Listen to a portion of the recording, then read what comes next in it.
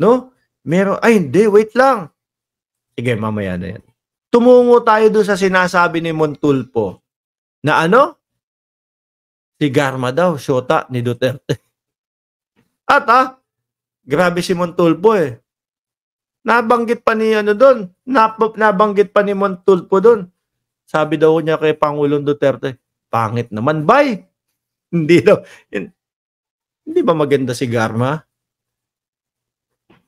Parang nakakatakot po, ano? Yung pangit naman daw, bay. Sabi ng dating Pangulo, eh masarap naman bay yung naka-uniforme. O, ha? Yung sa yun yung tumutugma doon. Yung sinabi ni ano, Binoy. No? Tayong mga kalalakihan eh meron tayong urge, the urge. Ayun. Di ba? Mga bossing, malupit pala ito sa PCSO. Kaya pala ho nila patuloy pong binibira yung um, nakaupo ngayon na general manager ng PCSO. Mga kababayan na si Mel Robles. Kasi ganito po yat, ganito po ang gusto nilang namamahala doon. Aba, 80, ilan? 80 billion yung hinahanap na pera dati. Laki ho nun, ha? Hmm. Tapos ngayon, si Mel Robles naman, eh, um, kumbaga, sa Southeast Asia, eh, nakasama siya bilang isa sa mga leader doon. Nung mga, parang mga PCS o PCS o din, no, sa Southeast Asia. Sa, sabi ni Junior Cortez, masarap daw bumira pag maitim ang singit. Sino maitim ang singit? Oh. Kanguso Motovlog, ganyan kasi kami sa Bicol. Di kami nagtataboy ng bisita kahit sino, kahit kaaway. Ka kasi ang motibo noon pasasalamat. Nakikain lang yang si Sarah. O ba, masarap siguro ang pagkain doon. Ano? Anyway, tumungo na ho tayo dito. Sabi dito sa balitang to, mga bossing, I was made aware. Ang nagsabi po nito, mga kababayan, is si Tommy Osmeña, former Cebu City Mayor, no? September 19, um, dalawang libo, dalawamput apat nung kanyang sinabi itong mga pahayag na ito. I was made aware that in the previous hearing that Colonel Garma said that our differences were personal. I just want you to know, Mr. Chairman, that I did not know her. But when she was going to be assigned to Cebu, somebody gave me a report from the PCSO. Alam ko siya din po yung naghayag eh. Nung 80 bilyones ho. Nung 80 bilyones na kumbaga nawawala. Sabi ni Salapakan, oh, Mark, pa-shoutout sa asawa ko, Maribik, nanonood mula sa Australia. Salamat, oh. Ma'am Maribik, shoutout daw po sa inyo. Sabi ni Sir Salapakan, oh, from Australia.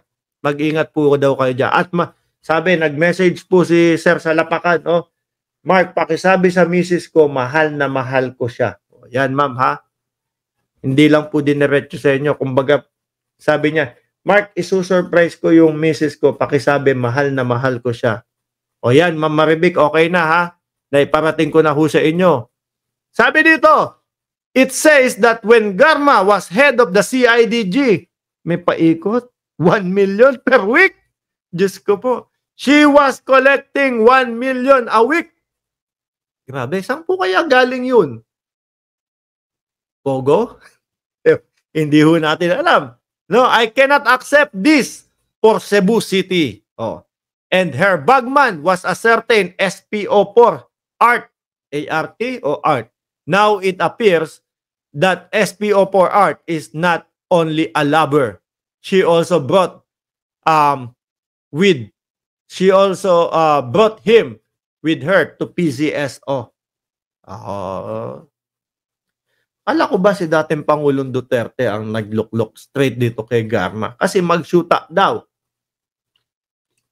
Sabi nga ho nila eh, wag tayong ano, wag tayong papabudol no sa pag-iyak-iyak po ni Garma dahil ang sinasabi nila mga kababayan, sandamakmak daw po ang nalagasan ng buhay sa kamay ni Garma.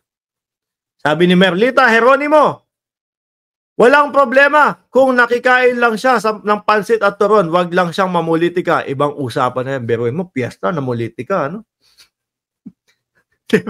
Di ba ba? Grabe ito. Parang mas, um, etong si Garma, mas ano pa eh, malala pa po eh, kay Janet Napoles. Oh, Mark, 90 bill, ah, nagkamali pala ako, kulang pa pala yung sinabi ko. Ernesto De Lara, 90 billion ang nawawala. Ho? Biruin nyo yun? Grabe. Eh talagang yung mga yan, eh, iiyak, iiyak, iiyakan lang tayo niyan para ma, ano, kumbaga maawa tayo. Huwag niyo ako ikulong, may anak akong nag-aantay. Oh. Pero ang mga pinaggagawa pala, kung sakaling totoo po yung sinasabi, madami pong nalagas na buhay sa kamay. Hmm?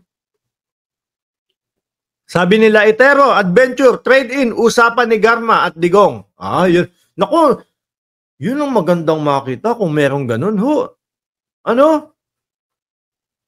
Yun ang ma- kung merong ano, palitan ng text. Meron kaya nun? Sabi ni Camel, taas noong kakamping po. Ayan. Shoutout nga po doon sa lahat ng kakamping natin dito. Shoutout din po sa lahat ng mga sumusuporta kay Pangulong Bongbong Marcos at sa gobyerno ng Pilipinas. Hmm. Grabe. Madami pa tayong madidiscover dito, mga kababayan. Madami pa tayong madidiscover dito kay Garma, mga bossing. Ngayon po, eh, pa konti-konti, iniiyakan na tayo, no? Eh, kapag ka nabulat-lat po lahat, biruin nyo, 1 million per week, saan po kaya diretsyo nun? Nung 1 million per week na yun, in, in one month, apat na milyones, sana all. Pero, syempre, wag galing doon sa masama. Wag galing doon sa ano, sa mga payo-payola na ganyan. Speaking of payola, ha? Nakakat nakatulog na po kaya si Senator Bato de la Rosa doon sa payola na um, merong isang ex-PNP chief na binibigyan ng payola nila Alice Go. Nakatulog na ho kaya. Sana may scandal si Garma. Ha, yes, boss, kakamping here. Mabuhay tayo. Mga bossing, 50 minutos na din po ako nagsasalita dito at alas 10 na ng gabi. Ano po, mga kababayan, eh ako ay magpapasalamat sa inyo 2,451 viewers. Salamat po sa pagstay nyo dito sa ating channel. Mga kababayan, at doon po sa mga hindi pa po nakasubscribe, ay nako, pindutin nyo lang po yung subscribe button at eh, press nyo na din po yung like button at tulungan nyo na din po kaming i-share ang ating um, live stream na ito, mga kababayan. Uulitin ko po, um, a 26 po, no? alas G, uh, 26 ng Setyembre, alas 10.30 ng gabi, yan po ay kakapanayam, kakapanayam natin si dating Senador Antonio Trillanes. Um, ang paksa po is um, yung ano tawag dito? Yung impeachment um, case niya kay BP Sara Duterte. Muli po, maraming salamat. God bless po sa ating lahat.